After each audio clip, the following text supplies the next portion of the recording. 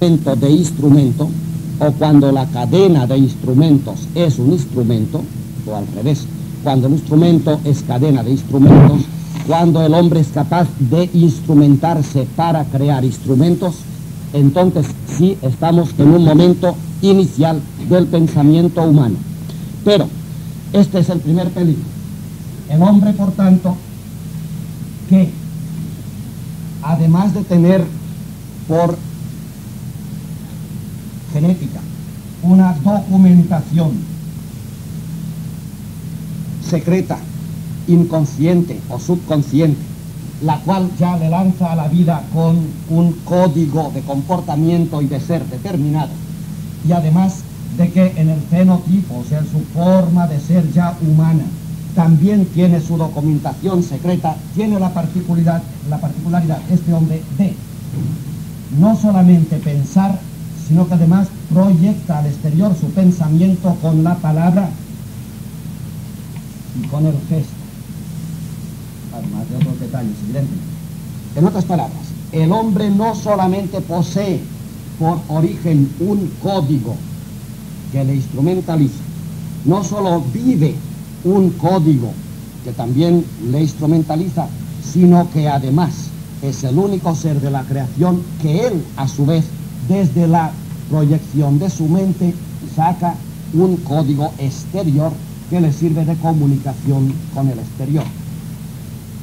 Una de las partes de la capacidad de pensar y de pensar proyectando y otra vez de recoger lo proyectado en su pensamiento, paréntesis, cada vez que el hombre habla y se comunica, se enriquece. No hay que pensar jamás el que comunica enriquece a los comunicados, que también es verdad, sino que si la comunicación es cerrada como toca, el hecho de que ustedes escuchen es para mí una documentación. O sea, que todo aquello que el hombre hace en realidad vuelve sobre sí si de verdad lo hace. Porque si el hombre tira piedras, esto no vuelve sobre sí, aunque le caen sobre la cabeza, que no enriquece. Quiero decir que podemos abrir un círculo que, que sea lineal y que no vuelva a nosotros. Esto es cuando hacemos las cosas fríamente o cuando no les ponemos alma a las palabras. En cambio, si el gesto exterior, el código que inventamos cada uno sobre los códigos fundamentales que poseemos, se traduce en gesto, en palabra, en comunicación, esta comunicación pronto o tarde vuelve sobre nosotros en, don y en regalo. Por eso decíamos el otro día que la persona, es esta, se enriquece justamente dándose, porque al darse siempre recibe. Todo esto va para la instrumentalización. El hombre que piensa y que incluso al pensar comunica su pensamiento con los demás, pronto descubrió que sus brazos, para poner un ejemplo, se pueden alargar. Es el instrumento elemental. El, el garrote, el bastón, lo que tenga en la mano, palo, para pegar, para pegar más fuerte, para matar. El caso de Caín y Abel no lo puedo explicar aquí, es un caso de, de invención de instrumentos, eso es bien claro. Pero justamente el primer instrumento de que habla la Biblia fue mortal. Y eso es fundamental porque la Biblia es simbólica. O sea que de esto queremos hablar hoy rapidísimamente porque se nos va a la lección. El hombre descubre que es capaz de alargar su brazo y de que lo que no puede hacer con un puñetazo, lo puede hacer con un metro más de palo. Matar a un hombre o con un hueso o con una quijada de asno como hacía Sansón. Pero esto es alargar la cosa. Pero este instrumento, que es más allá de, los, de las fuerzas humanas, el brazo termina aquí y el instrumento termina aquí, potencia al hombre. Y ahí está. Esta potencia exterior que el hombre adquiere tiene doble dimensión o doble filo. Puede adquirirla para potenciar sus fuerzas constructivas o para potenciar sus fuerzas destructivas. Insisto en el caso de Caín. Caín mata a Abel, pero lo mata con, sabemos cómo, con un instrumento, un hueso de mamut a lo mejor, y lo mató. Cosa que a lo mejor no podía haber hecho sin el instrumento, porque si hubiesen enzarzado en pelea y a lo mejor perdía él frente a Abel. Pero del momento que él es el que ha cogido el instrumento, es el que tiene más fuerza y el que vence y el que mata. Ya digo que estos simbólicos, yo no sé si, si, si me alargaré. El caso de Caín y Abel no son dos hijos de Adán y Eva, sino que son dos culturas. Abel es un nómada, cuida rebaños, es la cultura nómada de la antigua edad humana, y Caín es un estable, un agricultor, cultiva trigo. Bueno, y resulta que, según dice el Génesis, que saben que es una redacción sacerdotal del siglo XV y XII a.C., Dios vio muy bien los sacrificios, los corderos, que le sacrificaba Abel, y vio muy mal los sacrificios de las cosechas que le sacrificaba Caín. Estamos frente a dos culturas, la nómada y la sedentaria. Si quieren ustedes, el paleolítico y el neolítico. Pero Dios ve bien lo nómada, no lo sedentario. Interesantísimo, claro. Es que los sacerdotes que escriben son los directores de la transhumancia de Egipto por el Mar Rojo hasta la tierra de promisión. Es un pueblo transhumante y nómada. Evidentemente que los sacerdotes que redactan los orígenes de la humanidad dirán que Dios se complacía en la transhumancia, en los nómadas, a ver, y que veía muy mal esta gente que mientras estaba en camino se hacía su casita, su jardincito, cultivaba sus trigos, sus habas y sus gallinas, domesticaba los perros, neolítico, y, se quedaba en paz, instalado. Esto lo vio muy mal Dios.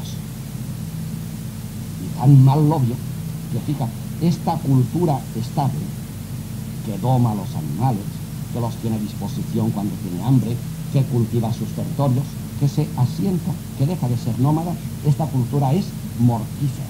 Caín mata a O sea que el instrumento del neolítico, la casa, la sedentariedad, el tener a disposición una despensa o unas tierras veraces, esto es un instrumento que sirve para matar al hombre que agrada a Dios. Trascendencia tremenda. Esta visión de los orígenes de la instrumentalización y de la sedimentarización de la humanidad, por el Génesis, que merecen todo respeto por su antigüedad, por su traducción de las realidades, todavía hoy, y perdonen el largo paréntesis, todavía hoy tiene su proyección.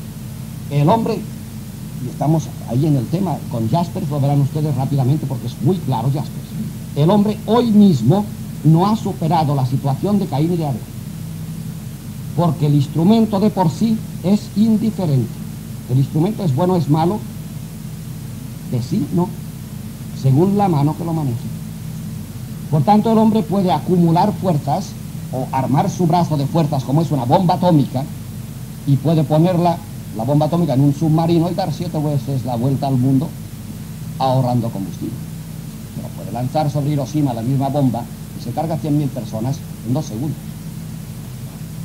Este es el instrumento, este es Caín y Abel, esta es la técnica de la instrumentalización. Hoy en día, prácticamente el consumo, la energía, la vida nuestra es técnica, es del neolítico para acá, no para allá.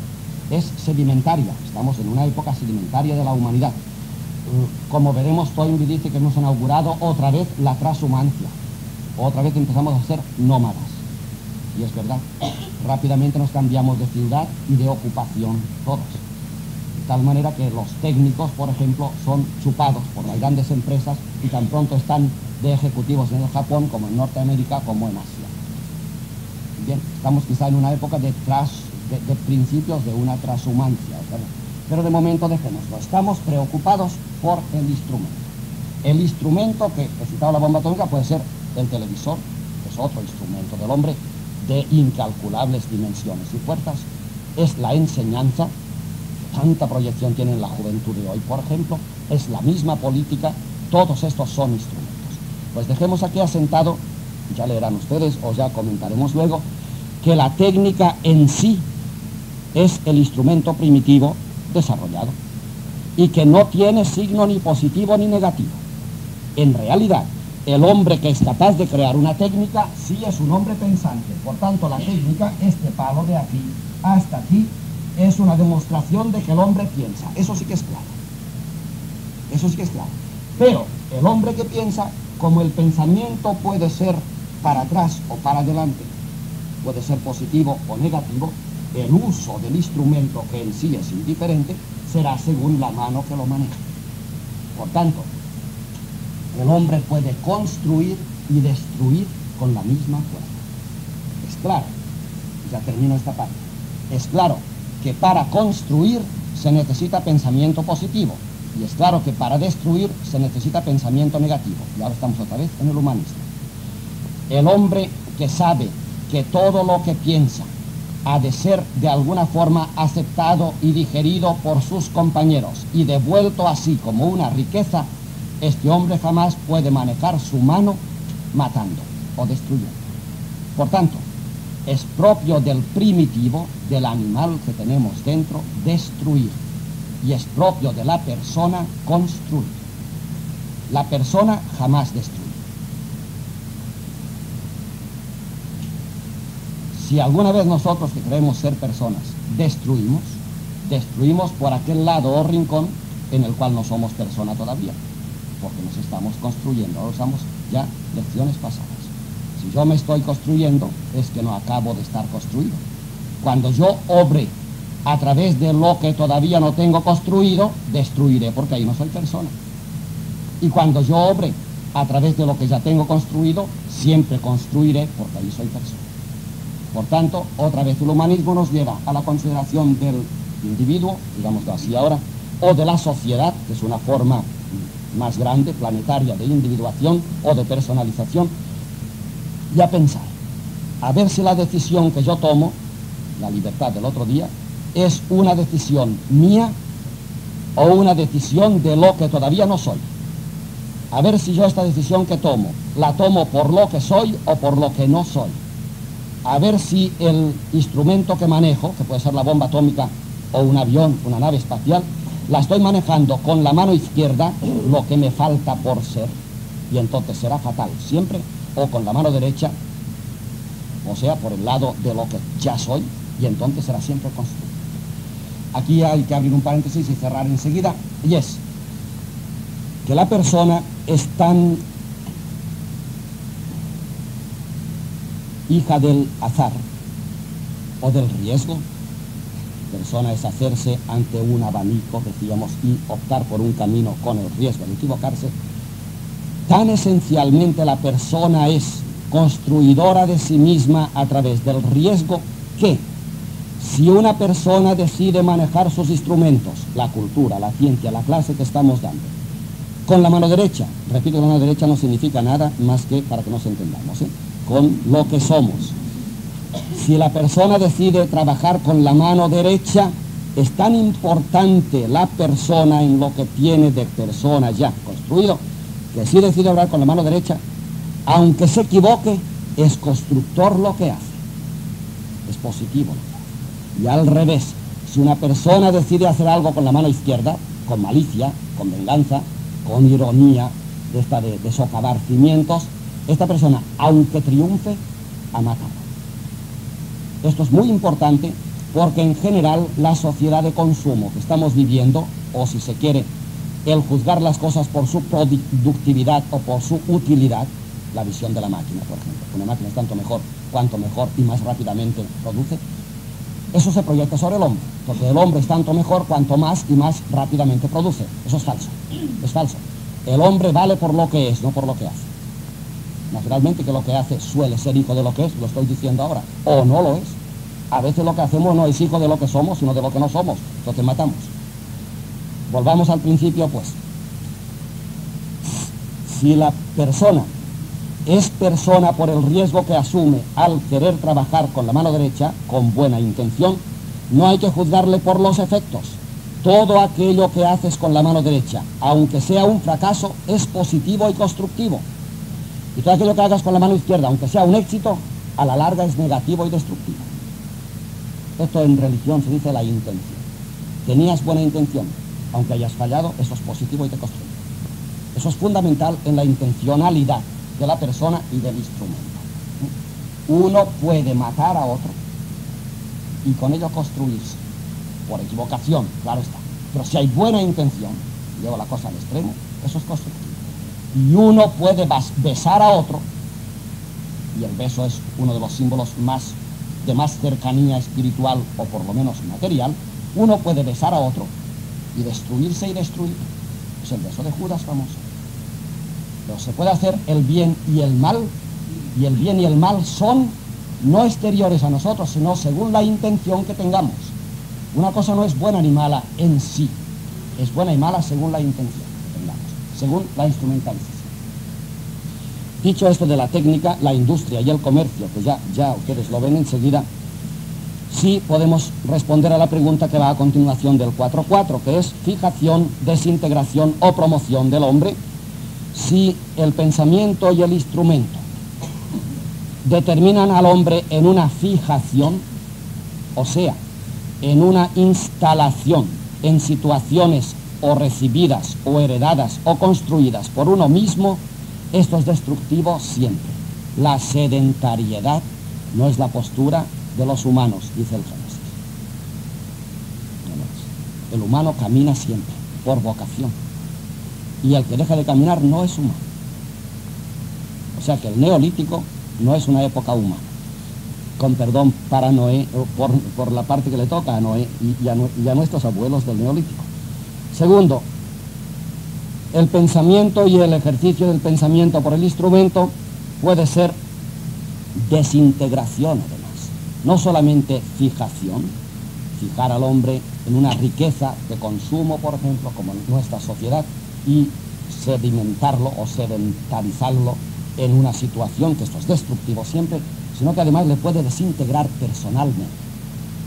El hombre que está satisfecho de sí mismo, en otras palabras, el hombre que dice yo ya soy yo, este se desintegra.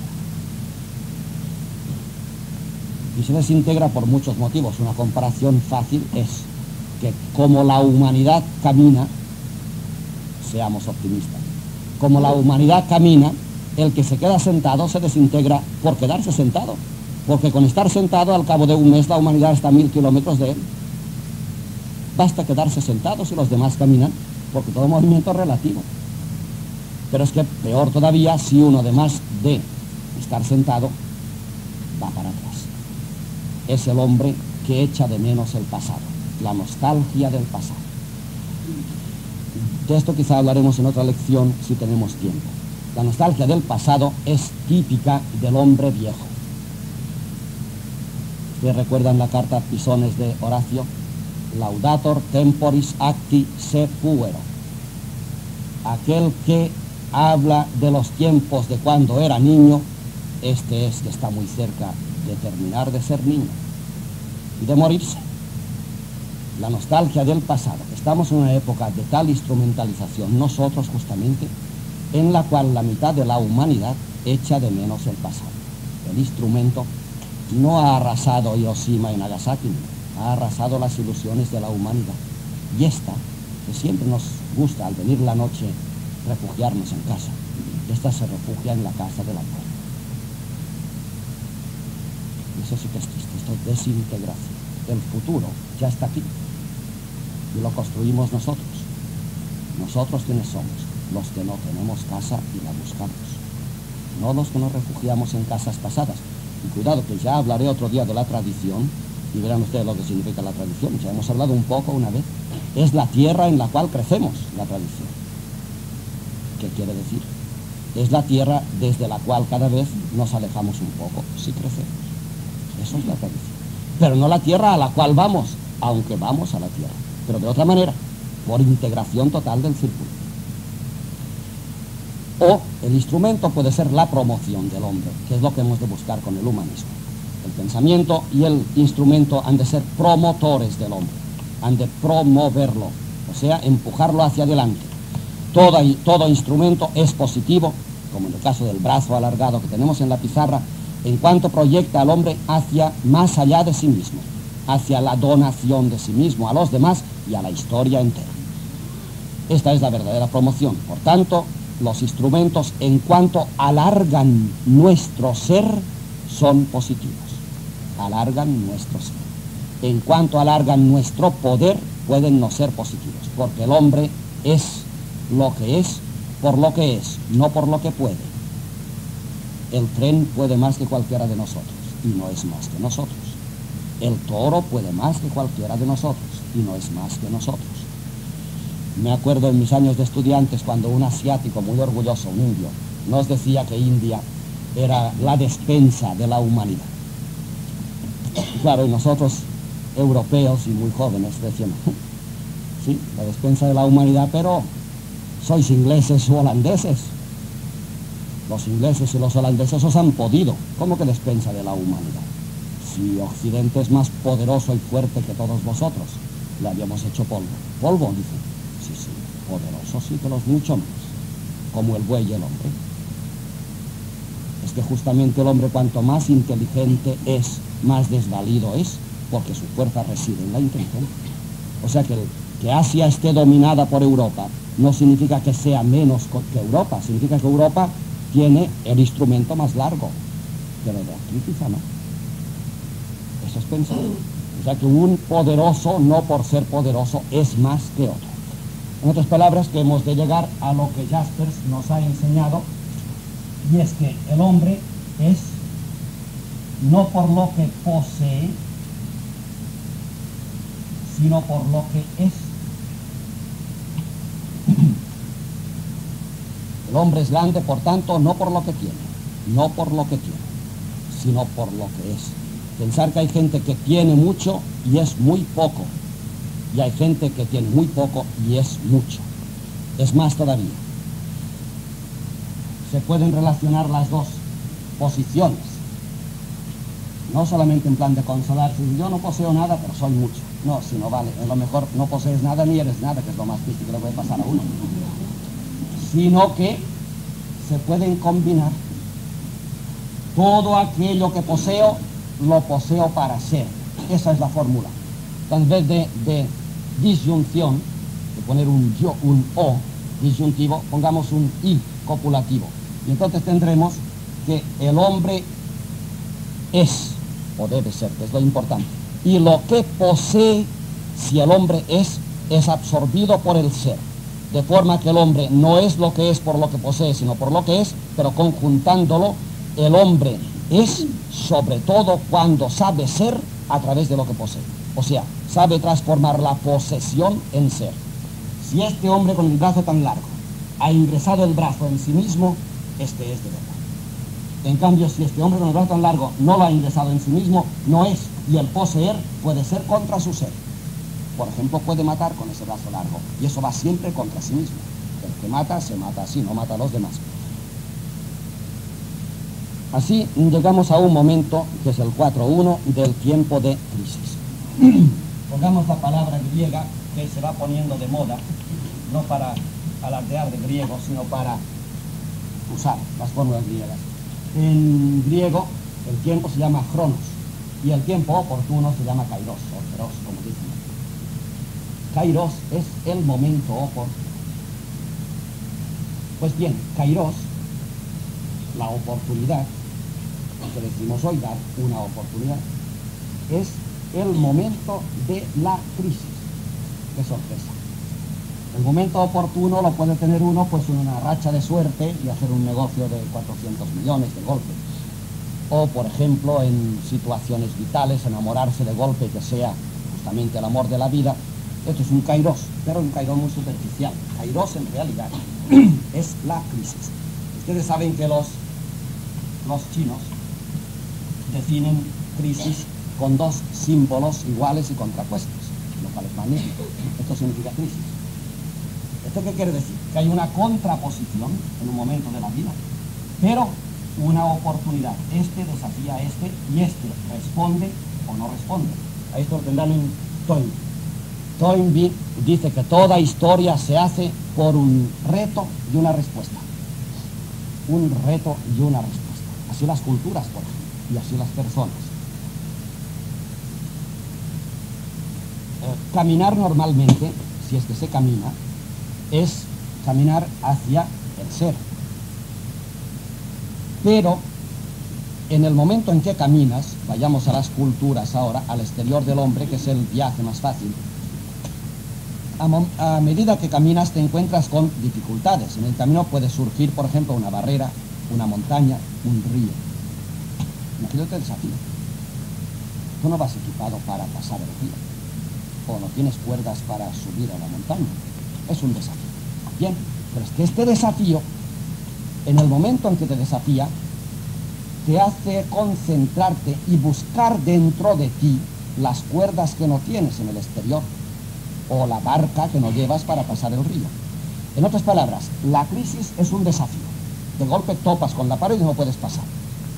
Pero es un desafío que tú puedes decir, ah, pues me voy, me voy para atrás. El desafío ha podido más que tú. O te concentras y dices, ¿cómo me arreglo yo para saltar esta pared, para cruzar este río? Y generalmente la crisis es tan oportuna, Kairos, que te hace descubrir en ti fuerzas que no sabías que tenías y que justamente las descubres gracias al desafío de la crisis, al kairos. Este es un kairos típico.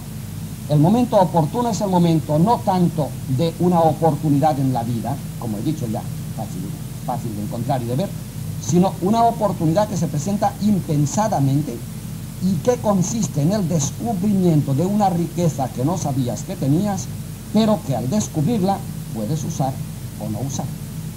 En realidad, las culturas caen o sobreviven gracias al kairos, o si se quiere, al reto y a la respuesta. Si tú retas a un hombre y le das un mazazo en la cabeza y lo liquidas, el reto ha sido demasiado grande para que el hombre no haya respuesta, fatal. Ahora, si al hombre le das una bofetada bien dada, esto es un reto al cual él puede responder y descubrir por primera vez que tiene él más fuerza que tú. Por tanto, el reto es la vida o vivificación de las situaciones. A fin de que tú no te duermas en el camino, te van dando bofetadas por el camino. Y así las culturas mueren de dos maneras. O porque el reto es demasiado fuerte, la conquista, por ejemplo, de Grecia por parte de Roma, el reto es demasiado fuerte y una cultura sucumbe al golpe, o al revés, por no tener golpe. He dicho dos maneras de sucumbir las culturas. Una cultura que va normal por la vida durará mil, mil quinientos años, como dice Toynbee, y al final morirá. Morirá. ¿Por qué? Porque les fácil el camino, no tiene retos. Es lo peor que le puede pasar a una cultura y a, las personas. O también puede suceder que se encuentre con un enemigo tan bestial que lo liquide dos golpes y tampoco hay respuesta posible. Esto vale para las personas. Las personas en los momentos de crisis como el actual, como veremos ahora, se encuentran ante un kairos. Hay personas que, como venían de atrás cómodamente, viajando o quizás sentadas, sedentarias, al primer desafío, yo no me meto, y, y reculan. Estos están condenados a morir. Porque no aceptan el desafío, que es la única forma de sobrevivir. Por tanto, la forma segura de morirse es tener las cosas cómodas, es estar sedentario, es contentarse con lo que uno es. Cuidado, uno puede contentarse con lo que es cuando no es mucho. Uno solamente puede contentarse con lo que ya es desde lo que todavía no es. Si es mucho lo que yo no soy, fácilmente me contentaré de lo poco que soy. Pero si es mucho lo que soy, nunca me consolaré de lo que me falta por ser. Este es el desafío. Si vamos por la vida, pasamos lo de Toynbee a la persona. Si vamos por la vida cómodos, echando de menos los tiempos del abuelo, como decíamos antes, porque todo era fácil, la política era fácil, el dinero era fácil, la economía era fácil, el instrumento funcionaba muy bien, nos entendíamos perfectamente entre generaciones. Esto es el final de una cultura y de una persona. No hay reto. O los hemos liquidado. Es el sedentario. Y Dios no bendice a los sedentarios, Segundo, si en la vida nos encontramos con desafíos como el actual, por ejemplo, el de la economía actual, el de la técnica actual, que es peligrosísima, el de las relaciones humanas actuales, el desafío de la falta de visión trascendental actual, todo esto no sorprende a nadie más que a los sedentarios. A los que caminan no les sorprende. Ya sabías al caminar que encontrarías el río de través cualquier día, o no lo sabías o que te aparecería la montaña, una montaña escarpada, difícil de escalar. Ya lo sabías. Ahí tienes el desafío. No está programado, tú no sabes qué te vendrá enfrente de ti, pero sabes que vendrá algo. Y entonces has de estar ya programado por dentro y a ver, no cómo te refugias en el pasado donde no hay desafíos, en el camino llano, sino cómo te enfrentarás con el desafío. Porque el desafío es la revitalización de la situación. En tanto tú estás al día para caminar, en cuanto el desafío te despierta fuerzas insospechadas dentro de ti y hace que logres aquellas alturas que todavía no posees dentro de ti. Sí, pues la palabra kairos para mí es definitiva gracias a los estudios de la visión de Toynbee. Insisto que Toynbee es un culturalista y que lo mejor es traducir del macrocosmos, de las grandes culturas, las palabras de Toynbee hacia nosotros mismos, que somos hijos y portadores también de una cultura determinada, los que la tengan. El Kairos, por tanto, insisto, es el momento de decidirse, como hacen los chinos. Es un desafío y una oportunidad. Desafío y oportunidad, esto se llama crisis. Pues bien, hoy estamos en un momento, como acabo de decir, en que los instrumentos, el pensamiento y las instituciones, sobre todo las estructuras mundiales, se han tornado en críticas. Críticas que quiere decir que lo que ofrecían hasta ahora ya no es válido y que por tanto delante de nosotros hay un reto, ya que no es válido lo que hasta hoy ha sido válido, ¿qué hacemos? Unos dicen, pues refugiarnos en el tiempo en que era válido, no responden al reto, mueren. Y otros dicen, pues crear situaciones y realidades que sean válidas para hoy y estos están creando el futuro, estos son, mira. No hay que alarmarse, por tanto, sino todo lo contrario. Aquel que viajando ve siempre el mismo paisaje debe sospechar que el tren se ha parado. Aquel que viajando va diciendo, oye, ahora son pinos, y ahora es un lago, y ahora es un río, este camino. Pues hoy estamos diciendo esto. Es que no nos aclaramos, es que, es que viajamos a velocidad vertiginosa. Quiero decir que estamos en un momento histórico en que la Tierra se acerca abajo, ¿no? La velocidad aumenta lo que, lo que no había pasado, tenemos el próximo día, no había pasado en 5.000 años, está pasando en un día. Pues esto no hay quien lo trague. Sí, sí, es un desafío, es un desafío. Si se quiere, digámoslo para terminar, la selección natural de Darwin está pasando hoy por aquí. Antes se seleccionaba pues, a mordiscos o a enfermedades o a pestes. Hoy se selecciona con desafíos de cultura. Hay quien no los acepta y se muere pero la humanidad progresa.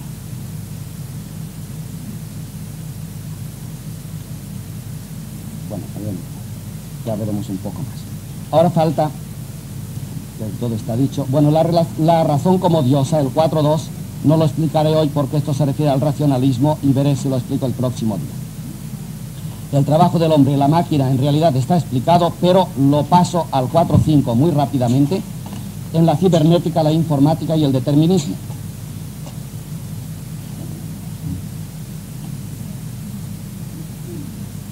Quizá los instrumentos más perfeccionados que ha conocido la humanidad son estos de hoy. La cibernética, ya saben que cibernao en griego significa gobernar, tener el timón de la nave. Eh, pues gobernar la palabra está muy bien inventada, hay un punto, el timón, desde el cual se puede controlar toda la nave. Pues bien, el hombre actual ha sido capaz de crear unos puntos de referencia con una información monstruosa, como debe tener cualquier timonel, para dirigir sin perder el rumbo la nave al puerto deseado. Esto es la cibernética, de la cual forma parte, evidentemente, y, después se desintegra la informática. Esto es muy importante. Porque este hombre, cuando maneja este palo, vamos a ver cómo lo maneja y cuándo lo maneja. Claro, este hombre, después de dos millones de años de manejar el palo, se ha dado cuenta de que lo ha manejado bastante mal muchas veces. Y después de haberlo manejado, este hombre, si es capaz de pensar, que ya lo es, está diciendo, esta vez me he equivocado. Esto ha dado mal resultado. Este palo no debía manejarse así. Por ejemplo, he pegado demasiado fuerte, yo quería solamente atontarlo y lo he matado. Bien, y entonces está pensando, ¿no tendría yo una fórmula de acumular datos de forma que sepa cuándo he de dar el palo, dónde he de darlo y en qué intensidad he de darlo? Así es infalible el palo. ¿Cuándo he de darlo? Cuando sea ahora, paz. Pero que no sea demasiado fuerte con qué intensidad. Y además que no sea en un sitio mortal, por ejemplo, en la espalda. Entonces todo tiene de datos. Y aquí empiezan los datos. El hombre cuando maneja un instrumento, suponer que es complicadísimo el instrumento, como puede ser un avión, una astronave, necesita unos datos. Pero estos datos, el palo ha sido tan largo ya y tan poderoso que los datos son prácticamente infinitos. Para llegar a la luna necesitan una cantidad de datos impresionante que no caben, no en el cerebro sí que caben en el cerebro. En un cerebro de hombre que fuera capaz de acumular datos durante 10.000 años, caben los datos. Pero es que el cerebro del hombre no dura 10.000 años. Entonces hay que crear un cerebro fuera del hombre, hijo del cerebro del hombre, el cual sea capaz de acumular, retener y almacenar y luego dar, entregar los datos que el cerebro del hombre no puede todavía acumular. Pues claro, si el cerebro puede crear un cerebro más grande que él mismo, es que el cerebro tiene esta capacidad. Eso es bien claro. Estamos otra vez en el instrumento. Bueno, pues la informática es aquel almacén de datos, quizá provenientes de todas las esquinas del mundo y del saber, hoy estamos otra vez en esto, con los cuales el hombre puede dirigir su instrumentalización o sus, sus instrumentos. Estos datos, esto es lo importante, hoy ya se dan la informática se dan y se acumulan. Pensar, por ejemplo, en las grandes computadoras poseen datos hasta el infinito, monstruosos. Y basta apretar un botón para que la memoria se dispare y te acumule infinidad de datos, tantos y tales que el error es prácticamente imposible o mínimo. Y ahí viene el problema. Vamos a ver. Y cuando el hombre posee para una acción determinada todos los datos posibles, ¿Es el instrumento que es instrumento del hombre o es el hombre que es instrumento del instrumento? Claro. A ver. ¿Quién es?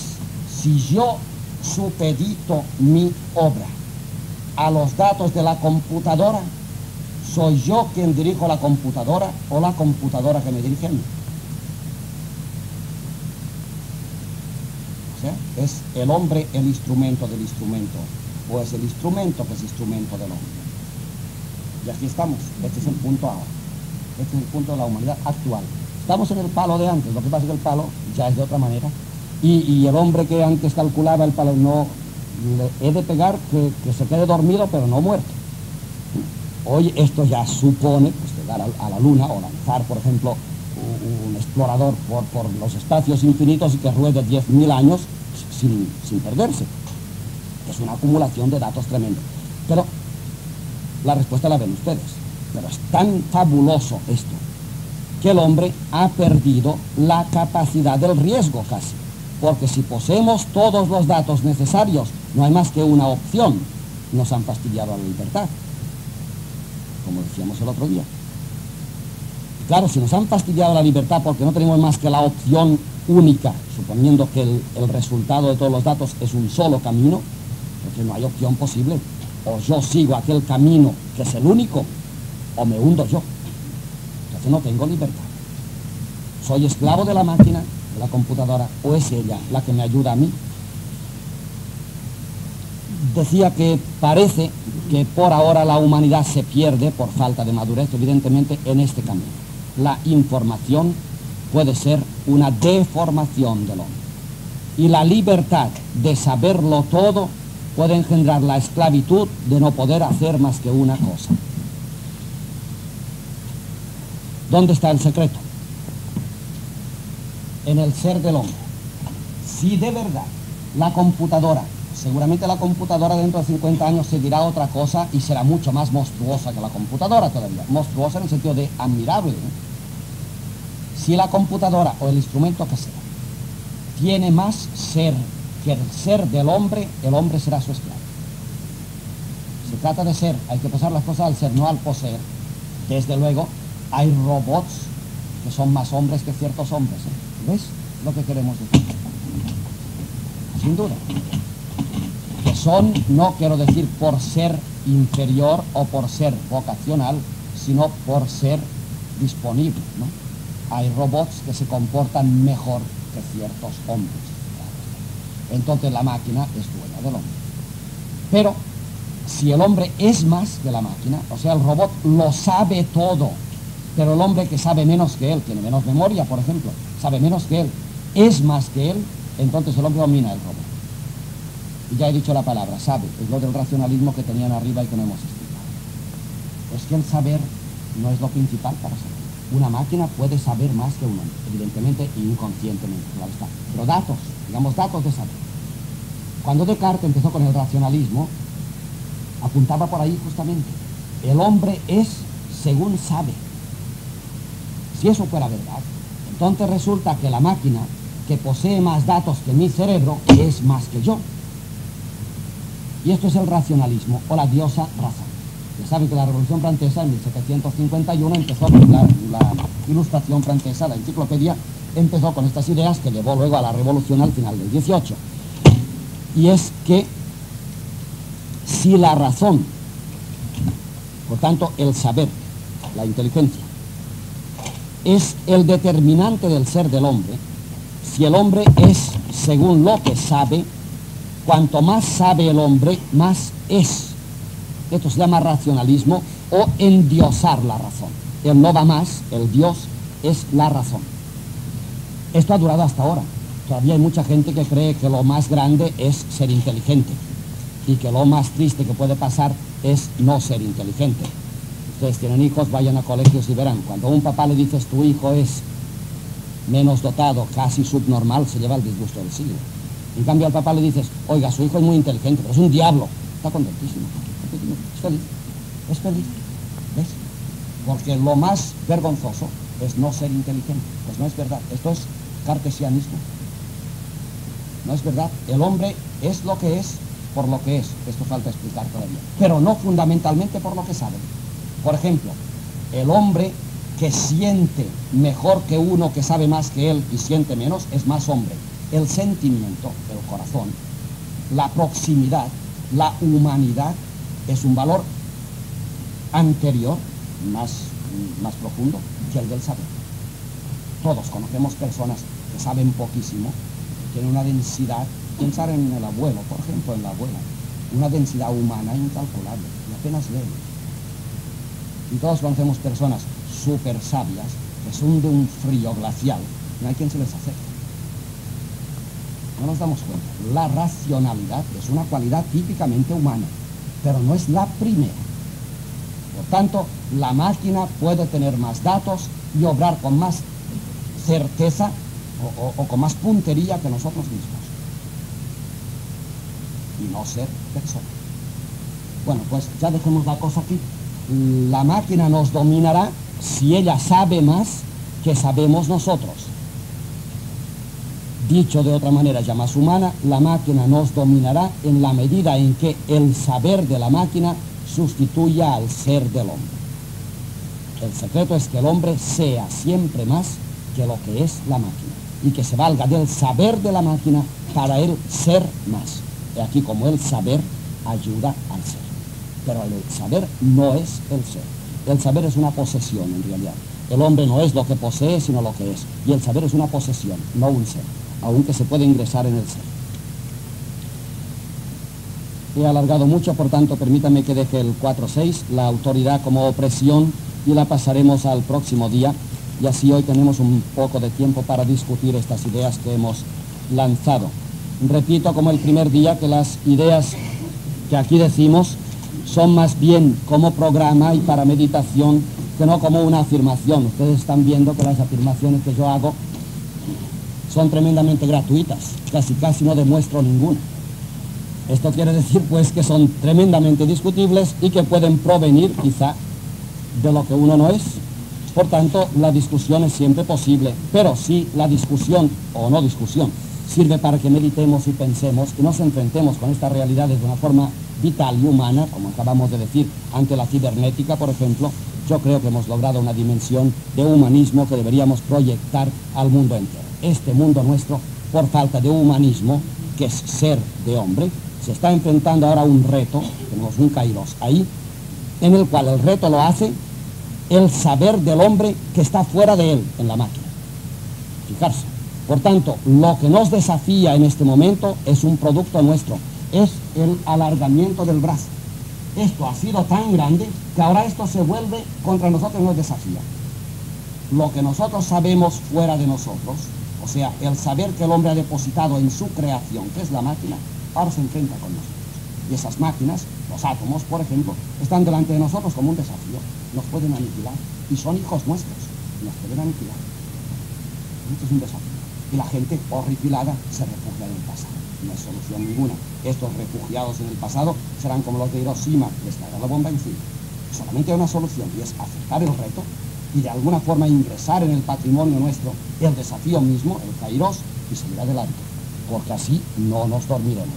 Siendo así que en este momento sí, media humanidad quizá está dormida justamente por esto, horrorizada ante el desafío que se nos presenta. Desafío que es evidentemente un momento en el cual podemos aprovechar la oportunidad que se nos brinda, el Kairos, para inventar un futuro que ya está aquí y que engendran ya aquellos que aceptando el reto intentan responder. ¿Quieren que discutamos alguno de estos puntos?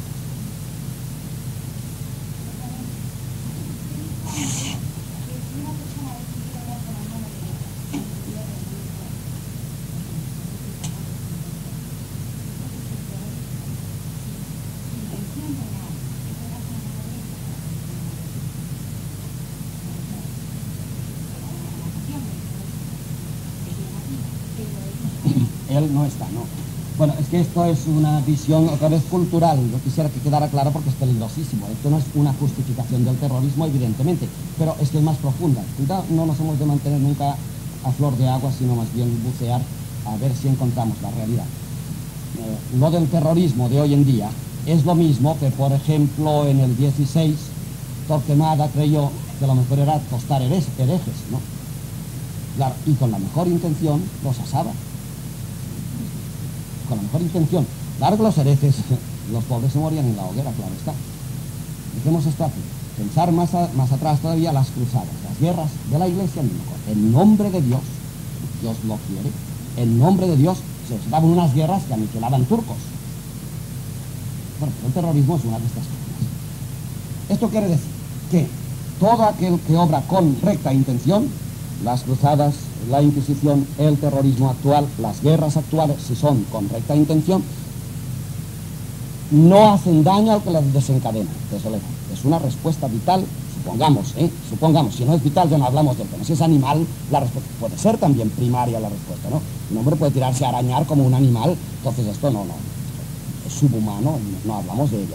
No, no, supongamos que es racional, bien pensado, que el terrorista dice, no, no, yo tengo que matar a esta persona se hace con toda la intención y no es subnormal o subhumana la reacción o la respuesta que da, esto en sí, para él, no es un mal.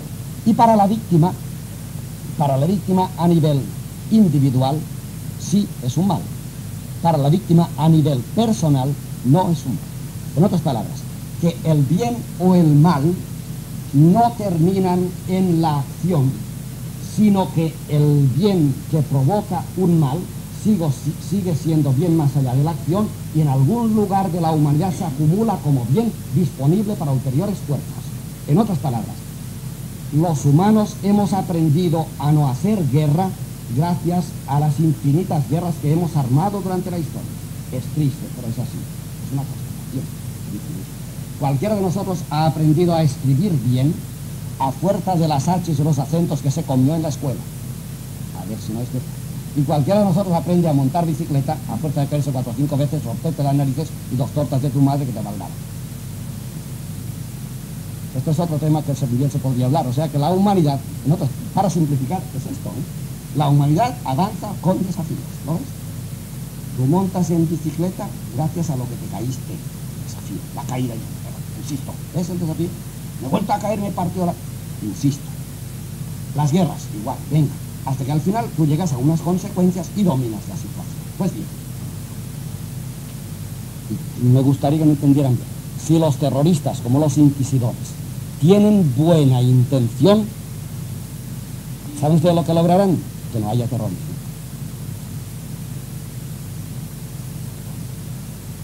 En algún lugar se acumula su buena intención. Exactamente, no, no les justifico, cuidado, hablo de intenciones.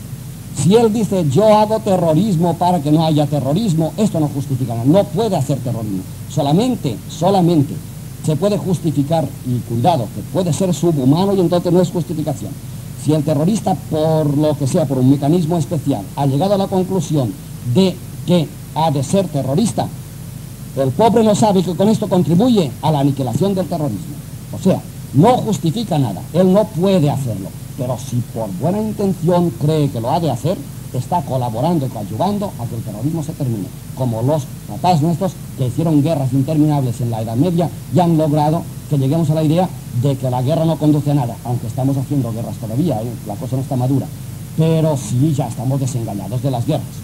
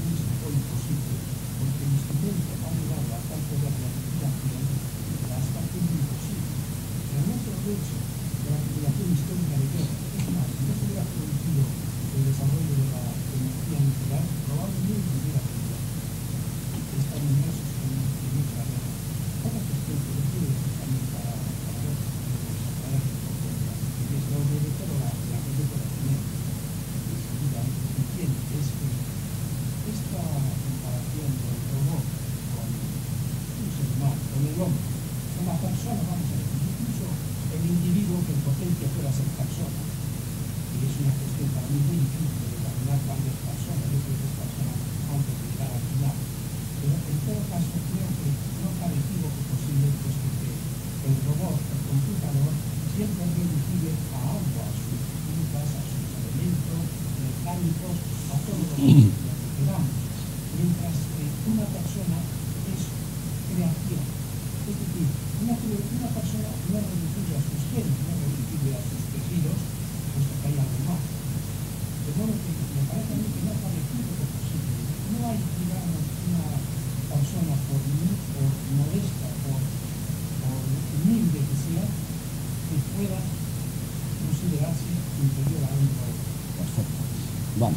ven ustedes, hace falta que se hable claro, porque aquí es cuestión de palabras. Y me gusta la pregunta. La cuestión de, la guerra. Todos los que de alguna forma pensamos en humano estamos desengañados de las guerras. La, guerra nuclear posible, la guerra atómica, ha quitado las armas de las manos por terror a aquellos que no estaban maduros todavía y no habían aprendido de las guerras pasadas lo suficiente. En otras palabras, los que no hacen la guerra por miedo atómico son aquellos que todavía harían la guerra si no hubiera el terror atómico. Los que no han aprendido suficientemente de las pasadas. Yo estoy aludiendo a los que ya hemos aprendido, supongo que cualquiera de nosotros, que aunque tuviéramos la bomba atómica no la tiraríamos. No nos da terror en nuestras manos, nos da terror en las manos de los que todavía no han aprendido lo que es una guerra.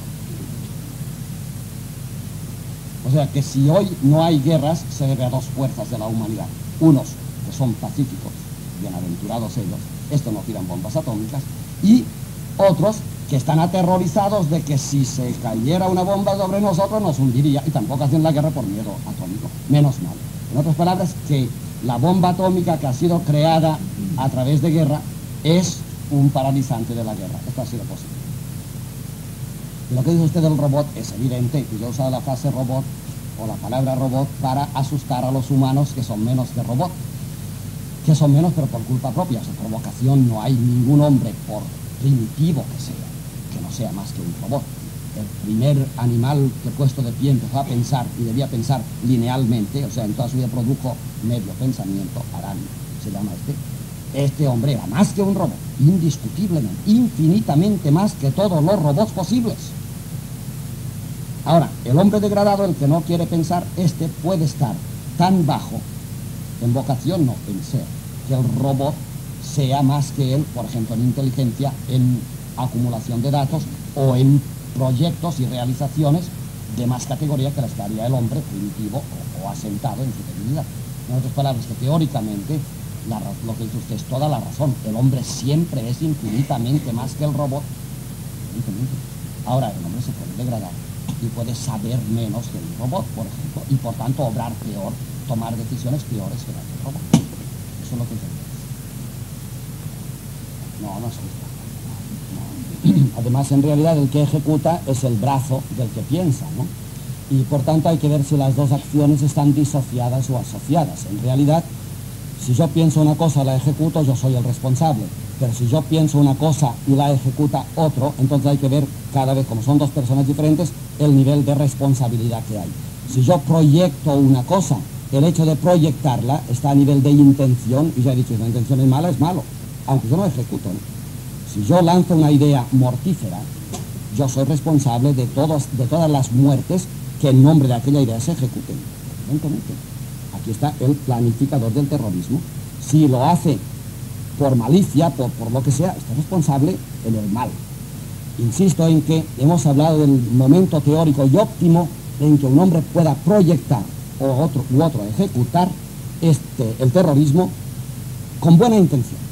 Yo no sé si ha quedado claro esto. Posiblemente hay muy mala intención, entonces no hablamos del tema. Ponemos que el terrorista que planifica y el terrorista que ejecuta estén en la mejor de las intenciones. Estén en la mejor de las intenciones. No sé si lo están. Si lo están, esto se acumula positivamente, esto todo.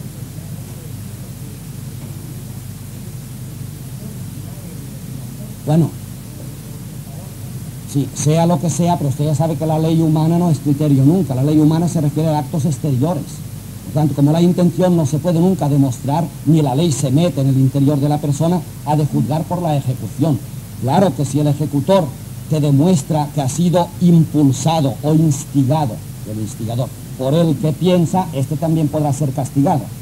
Lo que pasa es que la intención no la perseguirán la ley ni la eclesiástica siquiera se meten las intenciones, porque las intenciones cambian totalmente la realidad, como acabamos de decir justamente. Un hombre puede cometer el mal con la mejor intención, entonces no hay juez posible, más que Dios.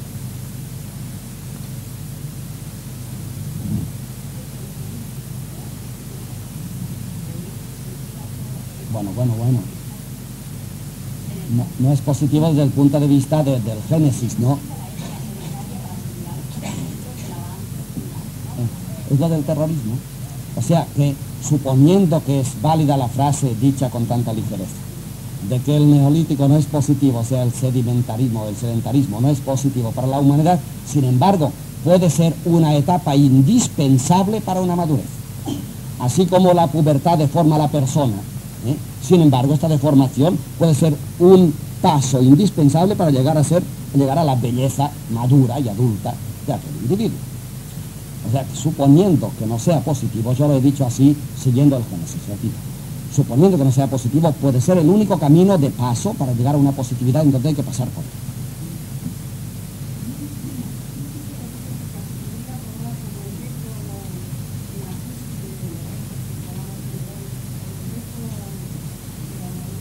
De hecho, hoy es el reto de la humanidad. Ahora que sea el reto mayor que sufrirá la humanidad ningún, de ninguna manera, porque mañana habrá otros retos más altos. A medida que camine o suba la humanidad, los retos que se presenten se presentan siempre a su altura, si no, no son retos. Si a mí se me presenta ahora un reto que fue reto para Adán, yo ni siquiera me lo miro, ya lo tengo resuelto. El reto, por ejemplo, piense usted en el primer hombre que inventó la, la, la escritura fenicios, los quien sea, ¿no? Para ellos fue un reto, aquel hombre debía comunicarse y, se encontró con que, hombre, lo haremos así. Bueno, pues ante un reto, busca una solución. Para mí esto ya no es reto, como ya está in, incrustado en mi ser, yo ya lo llevo conmigo. O sea que los retos, si no se presentan a la altura de la humanidad, ya no son retos. Lo que ayer fueron retos, hoy no lo son.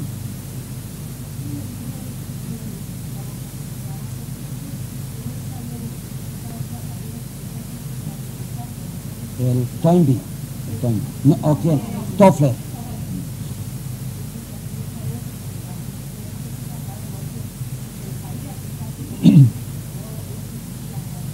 No.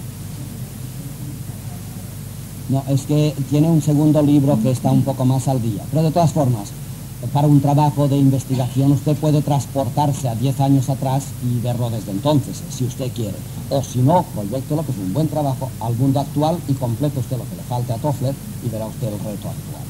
En realidad, es un trabajo de usted.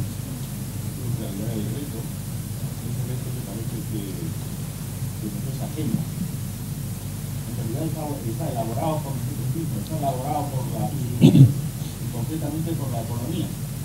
En este momento sí. Sí, sí. En este momento y en muchos otros de la historia, no en todos, pero en muchos otros sí. Eh, bueno, aquí hemos tocado un tema muy difícil, es el de la visión, la visión de la historia como hija dialéctica, o sea, respuesta dialéctica a la economía. ¿eh?